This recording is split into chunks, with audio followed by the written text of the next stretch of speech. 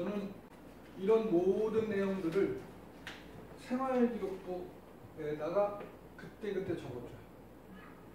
그러니까 다른 반 애들하고 나중에 엄마를 비교하면 한두 장이 차이가 나지.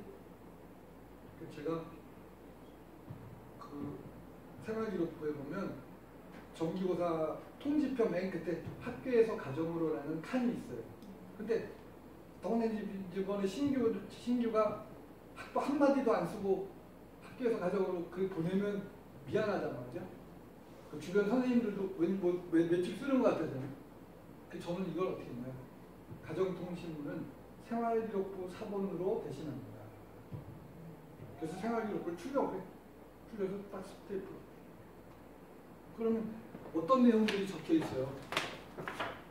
주본 활동에 대한 동료 평가 결과 5점 만점에 4.23점을 받았어요. 30, 24명 중에 3위에 해당하는 등수임. 생활기록부에 다 미주알, 고주알, 팩트를 다 적어요. 물론 점수 낮은 애들은 안 써줘요. 3.5점 이상인 애들만 써줍니다. 근데 보시면 3.5 안 되는 애는 딱 두 명밖에 없어요. 다 3.5죠. 그리고 쉽게 쉽게. 그리고 생활기록부를 이렇게 써주면 나중에 처음부터 애들이 못 느끼지만 나중에 이거 15점 딱 통계내서 혹은 5월 달에는 주번이 다 돌아가지 않죠. 그래서 5월 달에는 뭐 이때는 1인 1력 평가를 안 하는데 그렇게 해서 딱 주, 점수에서 사, 추천사에도 뭐, 뭐 근면 성실률만 안 써.